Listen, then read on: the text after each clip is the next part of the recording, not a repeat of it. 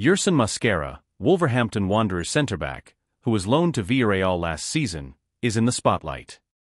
He made 18 impressive appearances for the Spanish club, and manager Marcelino Garcia Toral considers him a priority signing for this summer.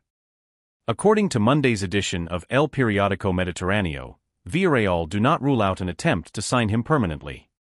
In April, Mosquera expressed to the same newspaper his desire to leave Wolves to join Villarreal, and last weekend in Miami, he reiterated this, saying he had a good spell at the Spanish club.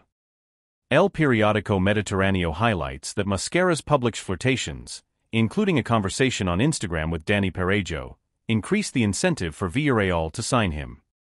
The Spanish club is calm and willing to wait until the end of the transfer window to try for a loan with or without an option to buy.